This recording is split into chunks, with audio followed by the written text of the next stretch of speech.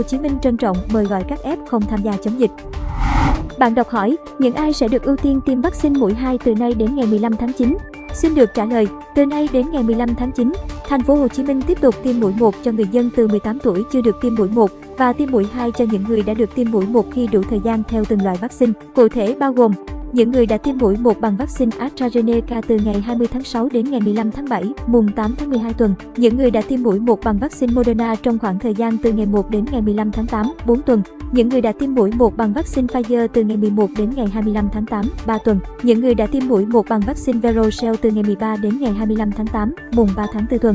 Sở Y tế thành phố đề nghị các quận, huyện ra soát, lập danh sách người từ 18 tuổi trở lên trên địa bàn chưa được tiêm mũi 1 để tổ chức tiêm bằng các loại vaccine phù hợp. Lưu ý những người cao tuổi, có bệnh nền, người khuyết tật hoặc trường hợp không thể đến điểm tiêm. Đồng thời lập danh sách người dân sinh sống trên địa bàn đã tiêm mũi 1 để tiêm mũi 2 đúng thời hạn.